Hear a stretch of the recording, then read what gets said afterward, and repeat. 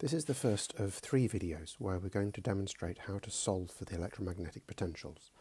We're starting from the equations that we derived in a previous video, del squared A minus 1 over c squared d2a by dt squared is equal to minus mu naught j, um, and del squared V uh, minus 1 over c squared d2v by dt squared is equal to minus rho over epsilon naught.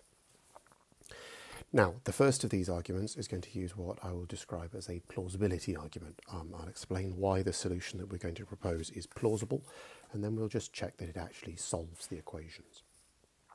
So, without time dependence, um, we know the following solutions. We have that v of r is equal to 1 over 4 pi epsilon naught volume integral of rho of r prime over r minus r prime uh, dr prime. And I'll note here that I'm using dr prime as a shorthand for the volume element at r prime. Um, and a of r is given by mu naught over 4 pi volume integral of j at r divided by r minus r prime. Again dr prime. Excuse me. Now, when we introduce time, we have to take into account the fact that electromagnetic information, if you like, the light and, and anything associated with electromagnetism, travels at a finite velocity, i.e., at the velocity c. Um, so, you say EM info travels at c. And so the time that we need to use um, in our sources needs to be an earlier time. Um,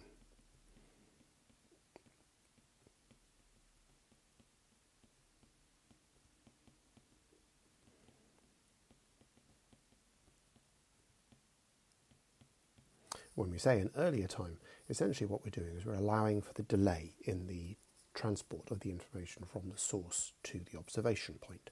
Um, and that earlier time, t prime, is equal to the time t when we're doing the observation minus the distance r minus r prime over c.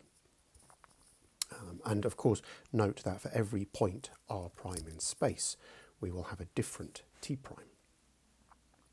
Now, we are going to simply assert that using this, we can give the solution, which is that v at r and t is equal to 1 over 4 pi epsilon naught the volume integral of rho at r prime and t prime divided by r minus r prime dr prime and a at r and t is given by mu naught over 4 pi the volume integral of j at r prime and t prime uh, divided by r minus r prime dr prime.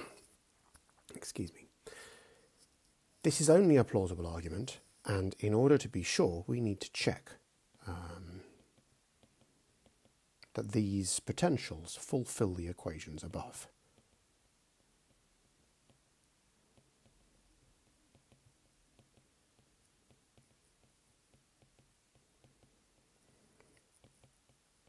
If you're not really interested in the mathematical details, you could actually stop at this point and just accept my statement um, that these will work. Um, if you're more concerned in, in following on, then um, stick around and we'll go through it. It gets a little bit complicated mathematically, algebraically, but it's not really very hard. Something else that's worth noting is that in these formulae, um, if j or rho do not depend on time, then those formulae reduce to the standard form, um, which is a, a, reassuring thing.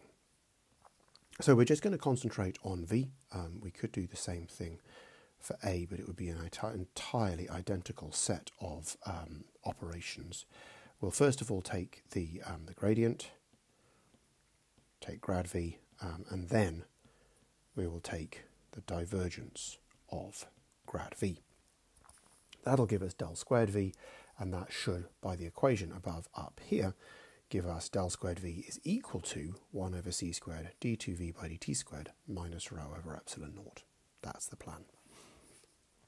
Now we need to make a number of observations. First of all, when we're taking these gradients, we're differentiating um, with respect to r. So I'm going to say WRT, that's with respect to r not r prime. That's important to note because we're going to be taking the differential inside the integral um, up here, and we can do that because it's not the same variable. I'm going to define um, a variable capital R, which is equal to r minus r prime. Um, then capital R without the vector sign is just the magnitude of r minus r prime. And r vector hat, of course, is just capital R divided by r magnitude. When we think about differentiating, um, we've already said that the integral isn't affected, but the integrand, the thing we are integrating, is affected. So rho is affected um, because of t prime, not because of anything else. Um, so it's affected through t prime. Um, and of course, 1 over r is affected when we differentiate. So let's collect a few useful results that we're going to need. Um, so first of all, d by dt is directly equivalent to d by dt prime. So those two are identical. Um, if we take the grad of rho, that is equal to d rho by dt, um, and then grad of t prime. And it's not crazy to be taking the gradient of a time because of t prime involves an r minus r prime. Um, and that's equal to minus 1 over c d rho by dt grad of r. That's easy enough to work out. Um, the gradient of r um, is simply uh, r hat. Again, these are very simple to work out. Um, the gradient of 1 over r, which is something else that we'll need, is equal to minus r hat divided by r squared. And we'll come up with a few more later. So let's start with um, the gradient. So we'll take the gradient of v, and that's equal to 1 over 4 pi epsilon naught. There's a volume integral. Um, and now I'll just scroll back up so we can see it. We're going to need um, to take the derivative of 1 over capital R, and we're going to need to take the derivative of this time. Um, so the, the, the gradient of rho is going to be the first thing that comes up, which comes in because of the time. Um, so when we do that, we get a minus 1 over c d rho by dt, um, and then we have an r hat over r squared. Sorry, not over r squared, over r. The 1 over r um, comes from here. The r hat comes from um, this gradient of r, which is just there. And we then also have another term, which is minus rho, and then we have the gradient of 1 over r, which is here. Um, and that we've just said is r hat over r squared, um, dr prime. Okay, that first step is very simple. Um, we're going to have to take a little bit more complicated things when we take the divergence. So the divergence of grad v, which of course is just del squared v, um, is 1 over 4 pi epsilon naught. Um, that's always going to be there. We have the volume integral, um, and then we're going to have to differentiate this term, and there will be two contributions, one from r, one from rho, and this term again, one from rho, one from r squared. So we're going to end up with four terms. So for the first two terms, um, we're going to have minus 1 over c, and we'll have a square bracket of um, r hat over r dotted with the gradient of d rho by dt. Um, that's the first part, plus d rho by dt. And then we have the divergence of r hat over r. Uh, that's the differential of the first term. Um, the second term is we have an r hat over r squared dotted with a grad rho and we add on a rho divergence of r hat over r squared dr prime. Okay, now we need a couple more results. Um, those, those results that we need are as follows. We need the fact that the gradient of d rho by dt um, you can work out is minus 1 over c d2 rho by dt squared. Um, and this is just using this line here, but a second time. Um, grad of r, which is just minus 1 over c d2 rho by dt squared, um, r hat. That's the first thing we need. We then need a couple of results. The divergence of r hat over r, um, which we have here, is equal to 1 over r squared. And the other thing we need is the divergence of r hat over r squared. And that crops up over here in that fourth term. And that's equal to 4 pi delta of r. Okay, so that's the Dirac delta function and it's zero everywhere except where r is equal to the origin. With those results, which I'm not going to prove, but you can do if you want to, we find that del squared v is 1 over 4 pi epsilon naught times the volume integral of um,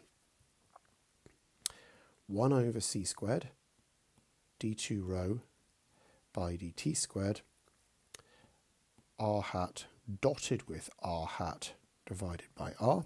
Um, that's coming from this first term here. Um, I'm going to go through the terms one by one minus 1 over c d rho by dt uh, times 1 over r squared minus minus 1 over c d rho by dt oopsie r hat dotted with r hat over r squared that's this third term here um, minus 4 pi rho delta of r. And that's all integrated with respect to r prime. Now, if you look carefully um, at these two terms, you will see that they cancel. Uh, we have minus minus, which is plus. We have 1 over c, we have d rho by dt, and r hat dot r hat is just 1, so we have the 1 over r squareds, both of which cancel. So that makes life significantly easier. Um, and so we can simplify and move on. Um, and what we find is as follows. We find that del squared v, um, and hopefully at this stage you're starting to notice some things that are looking quite hopeful. Um, with this first term, what I'm going to do is I'm going to put a 1 over c squared d2 by dt squared outside the integral, um, and you'll see why in a second. and we are left with 1 over 4 pi epsilon naught, the volume integral of rho of r prime and t prime divided by r dr prime. Um, and then that final term gives us a minus 1 over 4 pi epsilon naught times the volume integral of rho of r prime and t prime delta of r dr prime. We're almost there. This term here is simply v of r and t. That's the definition we gave above. Um, the only thing that's different in this in this way of writing it is I've used capital R for r minus r prime.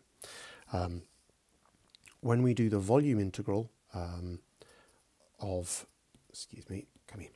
When we do the volume integral of this, um, oh, I've lost a 4 pi. Whoops. Um, there should be a 4 pi sitting in there. Um, when we do the volume integral of that, what we're going to get is, I need to go back to green, sorry, 4 pi rho of r comma t, um, because the delta function will just pick out the charge density at the origin. Um, so let's combine that all together. We get del squared v is equal to 1 over c squared d2v by dt squared minus the 4 pi's cancel, rho over epsilon naught. And this is the equation we were looking, we needed to fulfill. That's the equation for V of R and T. Um, and therefore, our solution, um, whoops, our solution is works. It's not very satisfying just quoting a result or giving a plausible explanation and then showing that it works, though sometimes that's how you have to solve problems. Um, this way is perhaps the least mathematically complicated. Um, there will be two more videos, one of which will be a, um, a slightly simplified version where we discuss how and why we solve. That corresponds to what's in the notes um, if you're doing the course with me. The final video um, will go into the full details of uh, Green's function approach to solving for the, um, the potentials, which explains exactly and precisely why we have this form.